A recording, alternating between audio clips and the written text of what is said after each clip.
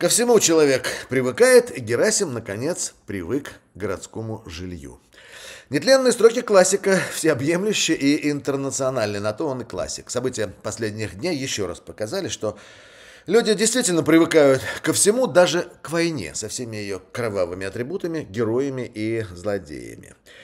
Не подводя итогов уходящей недели, могу совершенно уверенно констатировать, что если в прошлом году президента Украины американские законодатели обеих палат Конгресса встречали стоя, очень продолжительными аплодисментами, то нынешний визит Владимира Зеленского в Соединенные Штаты был на порядок тише и незаметнее. Спикер Палаты представителей Кевин Маккарти даже отклонил его просьбу о проведении совместного заседания Конгресса, сославшись на нехватку времени в рабочем графике. У республиканца Маккарти довольно много вопросов к киевским властям по поводу того, как используются миллиарды долларов, выделенные штатами на отражение российской агрессии. Требует отчета о потраченных деньгах. Задает вопросы этот Маккарти по поводу плана победы Украины. Это я про то, что Период глубоко эмоционального, позитивного отношения к сражающейся Украине со стороны Запада, похоже, проходит и наступает фаза прагматичного, местами и циничного анализа ситуации. Оно, конечно, вполне уместно, но, как мне кажется, именно на это и рассчитывал Кремль полтора года назад, начиная полномасштабное вторжение в Украину. По-русски это звучит как «поговорят, поговорят и успокоятся», переходящее в «стерпится, слюбится». Похоже, путинские людоеды, планируя агрессию, довольно точно рассчитали реакцию, ну, собственно, появление усталости и привыкания в среднесрочной перспективе. И Украине с каждым месяцем продолжающейся войны будет все сложнее находить средства для борьбы с, этим самыми, с этими самыми людоедами. Показательный эпизод э, с возобновлением кремлевских обстрелов украинских энергетических объектов. Аккурат во время визита Зеленского в Штаты. 400 населенных пунктов остались без электричества. Никого в мире это вообще никак не задело. Никто бровью не повел. Не то что государственные структуры Запада, даже телевизионные каналы не стали рассказывать об этой фактически гуманитарной катастрофе.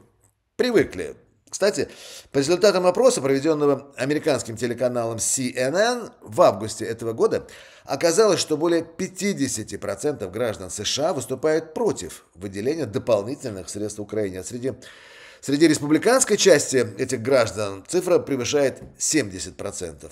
В Штатах, как и в Западной Европе, в отличие от РФИ, поведение, поведение политиков довольно сильно коррелируется с настроениями избирателей.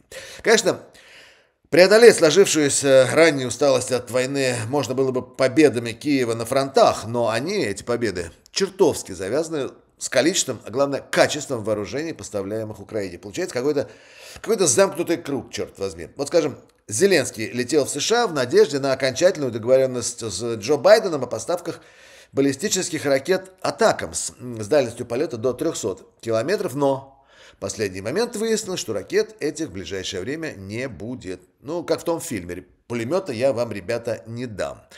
А это значит, что диспозиция российских войск вдоль фронта останется прежней, и по путинским военным объектам в Крыму украинской армии придется стрелять все теми же британскими крылатыми ракетами Storm Shadow. Они, конечно, тоже, тоже ничего себе ракеты, но российская армия уже научилась их довольно эффективно сбивать. Видимо, Видимо, в качестве своеобразной компенсации Байден на этой неделе объявил, что американские танки М1 «Абрамс», о поставках которых говорили почти уже целый год, прибудут в Украину уже на следующей неделе. А если это так, то у Киева еще остается шанс прорвать все-таки линию обороны и попробовать выдавить противника с насиженных мест. Ну, надрать задницу Путину, доказав, что деньги и вооружение в стране работают на победу, а и на что-то другое, в чем американские законодатели начали подозревать Украину. Но, но, к сожалению, человек так устроен, что он довольно быстро привыкает не только к плохому, но и к хорошему. Ну, как Герасим привык к жизни в городе. Чем, чем закончилась его история, напоминать вам не надо. Герасим утопил друга, ну, в смысле, Муму, и вернулся в деревню. На что, собственно, на что, собственно, и рассчитывает нынешний Кремль. Надо бы ознакомить с творчеством Тургенева западных политиков принимающих решения о поддержке Украины. Поехали дальше. Есть такой в Беларуси анекдот. Приходит к Лукашенко, это тот парень, который считает себя президентом страны, приходит к нему помощник и говорит, Александр Григорьевич, хорошая новость, наконец-то вы стали выездным. Да, и куда моя первая поездка? в Гаагу, господин президент. На днях этот анекдот чуть было не материализовался. Тут Европарламент выпустил резолюцию, в которой призвал институты Евросоюза и отдельные государства принять все меры для обеспечения уголовного преследования белорусских должностных лиц, соучастников преступлений против человечности и геноцида в Украине. А еще Европарламент обратился буквально со слезной просьбой в тот самый Международный уголовный суд в той самой Гааге о выдаче ордера на арест белорусского правителя Александра Лукашенко с формулировочкой, ну, один в один с путинской. Он назван соучастником насильственного вывоза более 2150 детей из оккупированных регионов Украины, как будто бы в оздоровительные лагеря в Беларуси. Но в Европарламенте и там есть вроде как информация о том, что эти бедные детки вот в этих самых лагерях подвергались идеологической обработке и русификации. Ответственным за все, естественно, назван, назван Лукашенко и его режим. Кроме того, прицепом ему предъявлено участие в агрессивной войне против Украины, снабжение войск РФ оружием и военной техникой, производство для них запчастей, размещение российских войск в стране, ну и много еще чего за что в свое время в Нюрнберге отправляли на виселицу. А еще режим Лукашенко обвиняется в том, что он угрожал присоединением своей страны к российской агрессии. Сейчас, правда, он время от времени вяло пытается намекнуть, что не при делах.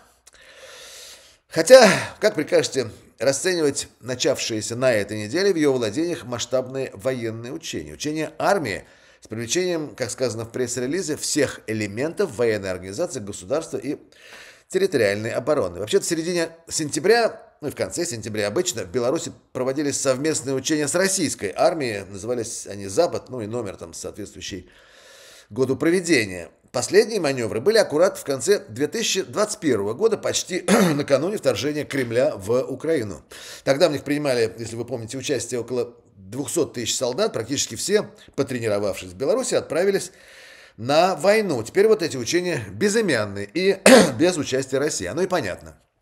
У Путина дефицит штыков на передовой в окопах, недоучений. Военная наука его вурдалаками осваивается, осваивается непосредственно под свист пуль и разрывы снарядов. Кто выжил, тот и боец. А вот куда двинутся белорусские войска по окончании учения, терра инкогнито. Никто не может предположить, что именно придет в голову белорусского верховного главнокомандующего или его начальника Путина, у которого, повторю, очень серьезный дефицит живой силы на фронте, да и с психологической адекватностью тоже не без дефицита. А как еще можно прокомментировать сообщение о том, что белорусский совбез пригласил на эти учения подразделение армии, внимание, Польши. Причем все это происходит на фоне с одной стороны, намерений Польши полностью закрыть границу с Белоруссией, с другой – заявление администрации Лукашенко о приостановлении договора об обычных вооружениях в Европе, ну, в отношении той же самой Польши. Так вот, это какая-то военно-политическая карусель получается, прямо insane asylum какой-то, сумасшедший дом в смысле. Было, конечно, смешно, если бы не было так кроваво. А вот мне лично очень жаль, что международные европейские институты вправе выписывать ордера на аресты, но не в состоянии отправлять безумных правителей на принудительное лечение в соответствующие учреждения. Перед судом в Гааге и Путину, и Лукашенко было бы, было бы уместно вернуть их психику на исходное состояние, прочистить, что называется, мозг, чтобы приняли свои приговоры осознанно. Вот еще о чем следует поговорить. Не только специалистам известно, что плохому танцору всегда пуанты мешают.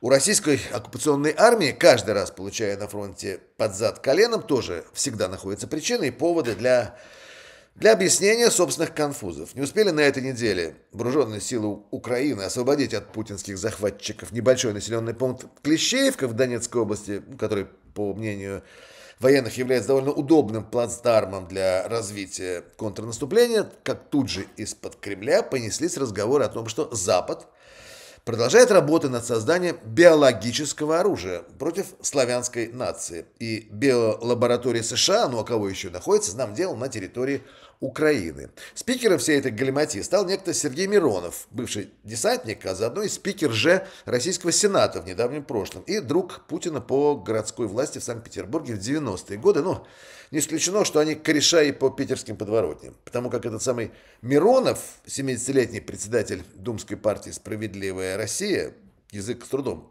произносит этот оксюмарон, и его начальник Путина, Путин росли в одном городе в одно время, ну, соответственно, в одних подворотнях. Миронов еще известен своими, своими парламентскими инициативами бомбить центры принятия решений в Киеве и уничтожение всей инфраструктуры Украины. Добрый такой парень, незлобный. Женат всего четырьмя браками, с Пригожинской кувалдой любит фоткаться.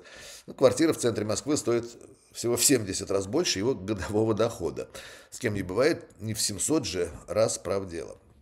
Да, он еще за несколько месяцев до пике самолета Пригожина с последующим избавлением Кремля от его влияния в Госдуме пытался провести закон о легализации ЧВК, тех самых частных военных компаний и придания им официального статуса.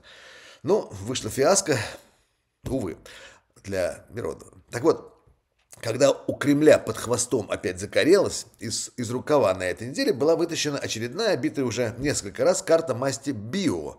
Биолаборатория. Мне вот прям жалко этих пацанов, что-то у них с фантазией хреново. Никак ничего нового изобрести не могут. Про эти про эти лаборатории байки рассказывают с регулярностью ну, киевского трамвая, право дело, на протяжении уже многих лет. И лажают еще на каждом шагу. Какая к черту славянская нация, которую кремлевские упыри собираются защищать? Никто почему-то не напомнил Миронову, что славяне это никакая не нация, всего лишь группа довольно разобщенных народов, говорящих на славянских языках. Кстати, практически не понимающих языки друг друга. Знаете, у меня возникла в этой связи Подозрение, что в Кремле, кроме всего прочего, стали сомневаться в стопроцентной преданности веренного ему российского населения. Не хотят, понимаешь, эти граждане сволочи сидеть в окопах и умирать за параноидальные идеи сумасшедшего Путина. Ибо с какого черта надо нести в массы байки про то, что якобы в этих лабораториях изучается биологический материал славян, проводятся исследования, как всяческие западные, если не сказать больше англосакские патогены влияют на геном этих самых славян. Причем в укороченном составе. Кремль говорит, что это только русские, белорусы и украинцы. Я так понимаю, поляки, чехи и прочие болгары, сербы Запад не интересует. Ну, по, по версии Кремля. Словом, заглотив в промышленных масштабах такую хрень, народ РФ должен в очередной раз встать, все как один, и ринуться на защиту славян, читай, должен этот самый народ рвануть дружными рядами в армию убивать граждан Украины. Ну, либо это билиберда про биолаборатории, если не объясняет, то уж точно отвлекает от тех обломов, которые, которые в последние дни довольно регулярно получает российская армия от вооруженных сил Украины. Тут вот украинские бойцы еще село Андреевку на этой неделе вернули под юрисдикцию Киева.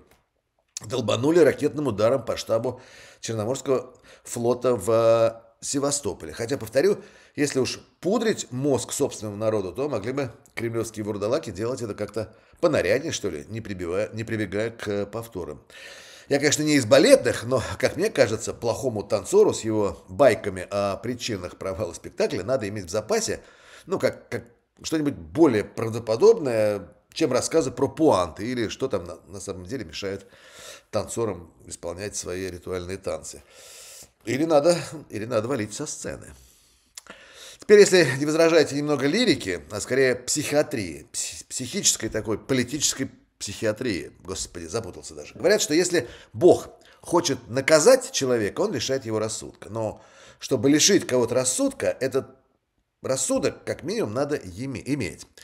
Я тут совершенно случайно на этой неделе наткнулся на статью главного идеолога путинской банды, такого кремлевского кардинала Решелье Николая Патрушева, которую он опубликовал в своем профильном журнале с незатейливым названием разведчик, 72-летний генерал армии господин Патрушев, очень плотно участвующий в создании постсоветских, то есть российских политических химер, профессиональный КГБшник. Где же ему еще публиковаться? Так вот, пробежав по диагонали его откровения, изложенные, скорее всего, для младших товарищей по конторе, для повышения их морально-политического, как принято говорить у этих ребят из спецслужб, уровня, Довольно просто сделать кое-какие выводы о мировоззрении кремлевских долгожителей, которые сегодня поставили в позу Ротберга практически всю планету, развязав самую кровавую в этом веке войну с Украиной. Я бы сказал даже самую кровавую в нынешнем тысячелетии. А выводы скорее не о мировоззрении, а его первоисточник, о движущих, что называется, и направляющих. Так вот,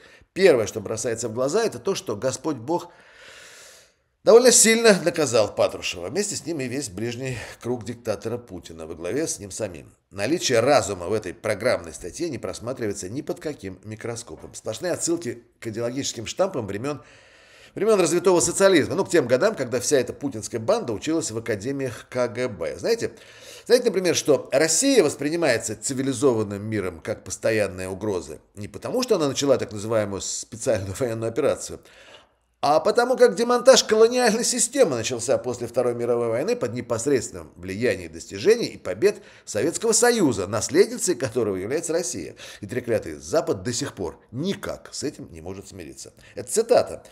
Вообще, я попросил бы вас очень внимательно вслушиваться в каждое слово, потому как практически цитирую идеологический базис путинского режима. Так вот, Российские солдаты в окопах на украинской земле, оказывается, умирают за то, чтобы остановить неоколониальные притязания Запада и его лживые идеи и ценности, такие как глобализм, э, Кремлю нужен патриотизм, гендерное многообразие и, прости господи, псевдоэкологические доктрины, обосновывающие необходимость радикального сокращения численности человечества. Я не шучу. На полном серьезе. Так считает самый главный идеолог Кремля. То есть всякие там рязанские или тамбовские солдаты убивают украинских детей исключительно ради того, чтобы остановить псевдоэкологические доктрины Запада. Ну, полный шандец. Или вот еще, закрываю глаза, так я вижу картину, как в роскошных интерьерах Кремля некто Патрушев дефилирует туда-сюда, докладывает на Совбезе о том, что лженаучная концепция трансгуманизма, в которой человек объявлен промежуточным звеном биологического и социального развития, повлечет за собой требования по его улучшению, скорее всего, принудительную посредством модификации и сращивания с технологическими системами. Ну, не хотят в Кремле, черт возьми, сращиваться с технологическими системами. За это, видимо, и убивают людей в Украине. А я вот, например, не знаю, как бы я лично повел себя, если бы уверовал в то, что кто-то хочет срастить меня, такого всего человечного, с какой-то технологической системой. Может быть, и оружие из сейфа достал. Но для этого надо очень сильно, конечно же, проникнуться кремлевскими установками.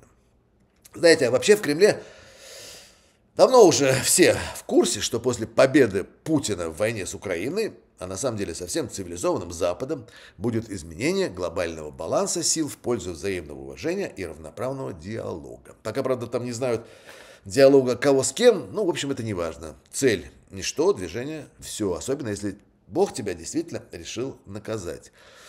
Только вы, пожалуйста, об этом никому не говорите. Эти идеологические установки пока держатся в секрете еще не доведены до российских солдат, умирающих на украинских фронтах. Ну, за изменение, за изменение глобального баланса. Ну и последнее на сегодня. Еще про одну войну на территории бывшего Советского Союза. Войну однодневную. Скорее даже про то, насколько заразительными бывают дурные примеры. Смотрите, Диктатор Путин аннексировал украинский полуостров Крым почти 10 лет назад, ссылаясь на волеизъявление местного населения, якобы возжелавшего войти в состав Российской Федерации. Полтора года назад он начал полномасштабную войну, оттяпав у Украины еще около 15% территории, опять же, присоединив четыре области к своей империи с тем же обоснованием, что, мол, граждане, населяющие эти области, жить не могут без того, чтобы не войти в состав РФИ. Вся эта галиматья была залета в уши коренных жителей России, и особенно тех из них, кого отправили на фронт погибать за паранойю Путина. Ну, в целях поднятия патриотизма и облегчения моральных страданий при убийстве очередного украинского ребенка. За родину ее любимого вождя чего только не сделаешь. То есть все это кровопролитие проходило и, собственно, продолжается исключительно на принятии того факта, что никакие договоренности, ни международные дипломатические, ни человеческие, ни сложившиеся исторически больше не канают, и жить можно исключительно по закону джунглей. Сильный вправе съесть того, кто послабее. При этом у Кремля оставалось какое-то количество обязательств по отношению к другим странам, которые ну, по каким-то, неважно по каким причинам, были нужны ему. Я имею в виду страны, с некоторыми даже были обязательства по взаимной обороне. Там у них такой вводится орган ОДКБ, называется, Организация договора по коллективной безопасности, такое недонато, состоящее из шести, если мне не изменяет память стран, во главе, ясно дело, с, с Россией. Так вот, на этой неделе, вдоволь насмотревшись на, за последние 10 лет на то, как Путин вытирал ноги об Украину, пытаясь навести там кремлевский порядок, Азербайджан провел полномасштабную войну на, на своей формальной территории с идеей полного и окончательного возврата под свою юрисдикцию Нагорного Карабаха, населенного исключительно армянами и считающегося как бы частью Армении. Ну, по крайней мере, в Армении все именно так и считали. Дальнобойная, дальнобойная артиллерия, дроны и прочие военные радости отправили к праотцам десятки ни в чем не повинных карабахских армян. В результате полная капитуляция Карабаха с абсолютно непредсказуемыми последствиями. В этой маленькой, когда-то автономной республике 99,7% населения армяне. Согласятся ли они жить под управлением азербайджанцев, довольно, довольно большой вопрос. И вот что примечательно, это самая путинская ОДКБ, в которую формально входит Армения, патронирующая Карабах, а также все российские солдаты, стоявшие в Карабахе гарнизоном миротворцев, вся эта хреновая Вооруженная машина, или махина, если хотите, застыла в изумлении, тихо из-под ладони, наблюдая, как Баку навел реактивными залпами, э, системами залпового огня конституционный порядок на вверенной ему когда-то советской власти территории. А что, если можно Путину убивать людей в борьбе за землю, значит и всем остальным тоже дозволительно. За спиной Путина атомная бомба, за спиной Алиева президент Азербайджана этнически и религиозно близкая Турция, член НАТО, между прочим, Вполне себе противовес какой-то там ОДКБ. По ходу пьесы азербайджанцы расстреляли, кстати, несколько российских военнослужащих. Сколько именно, не сообщается. Ну, кто их там считает во время проведения, наведения конституционного порядка. Не хотелось бы, конечно, выступать в роли Кассандры, но вот эта вот новая война теперь на Кавказе как бы ни стало выстрелом стартового пистолета для всех желающих поучаствовать в гонке переделов сложившихся в 20 веке границ и межгосударственных отношений. А таких мало не покажется. Начиная с Узбекистана и Таджикистана, далее на восток и не только, везде и всюду. Удел так называемых стран третьего мира. Стараниями российского президента латинское выражение quod licet lovi, non licet bovi, что дозволено Юпитеру, не дозволено быку, больше не действует. Это, на мой взгляд, первый, хотя далеко не последний результат борьбы Путина за так называемое многополярное мироустройство. Чем он, собственно, сейчас в Украине и занимается. Коллективный Юпитер пока как-то не очень противостоит обезумевшему быку. Пока все. Берегите себя. Все будет хорошо. Готовьтесь. Música